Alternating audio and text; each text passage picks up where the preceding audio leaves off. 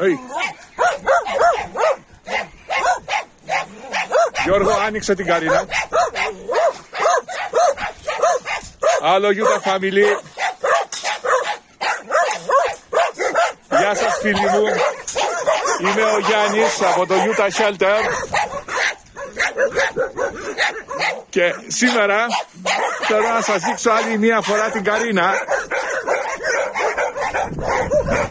Ένα σκυλάκι που είχαμε πάρει που ήταν σε άθλια κατάσταση.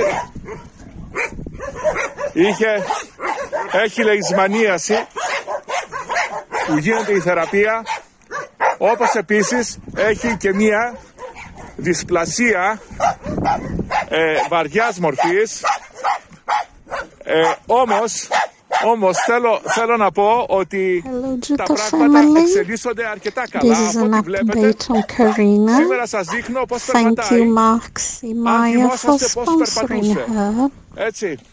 Είχε She's τεράστιο been πρόβλημα με το treated ένα πόδι. for Δεν το πατούσε leishmaniasis. καθόλου πίσω. She has Τώρα τα very πατάει και τα δύο. severe hip Καμία φορά dysplasia. Η αγάπη We are έχει τα δικά της still αποτελέσματα. working out what is best for her regarding that because there is no easy treatment. She is doing well. She has put on weight. She has malnutrition as well.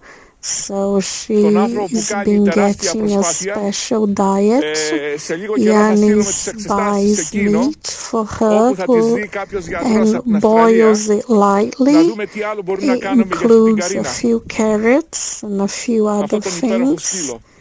Um, she also has the occasional liver. So she's put on weight. She loves ζει the σε πολύ food. καλές συνθήκες. She's doing quite well with Τώρα that. βέβαια την έβγαλα από το χώρο της.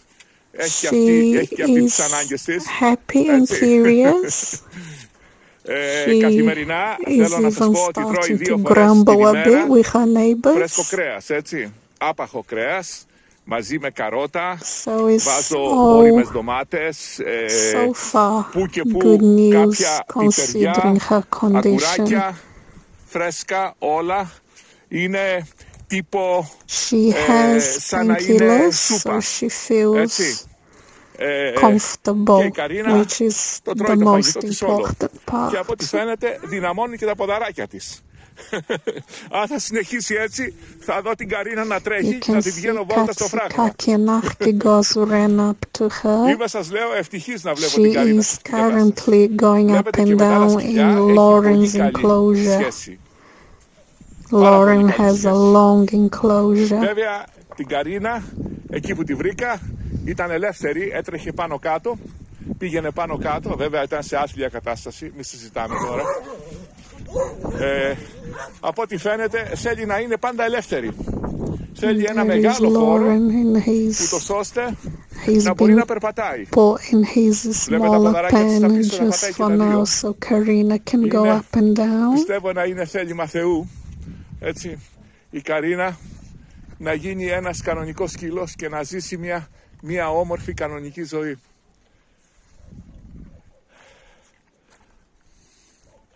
Θέλω να σας ευχαριστήσω άλλη μια φορά για το So, ενδιαφέρον so far δείχνετε she's εδώ. doing well. στην Ιερά Πέτρα για τα ζώα, She's γιατί πραγματικά making είναι μια friends περιοχή and που a few πολλά ζώα grumbles with πεθαίνουν αβοήθητα neighbors. ακόμα. Δηλαδή You δεν can φτάνουν see οι Finn. εθελοντές που υπάρχουν εδώ πέρα. Υπάρχουν άνθρωποι οι οποίοι είναι αδύσακτοι, δεν σέβονται νόμους, ούτε τους νόμους της φύσης θα, θα ήθελα να πω, ούτε τους νόμους του Now κράτους. there at the back is Έχουν μάθει Murphy. να ζουν έτσι. You Δηλαδή know, να he βασανίζουν τα has a lot ζώα of talk today.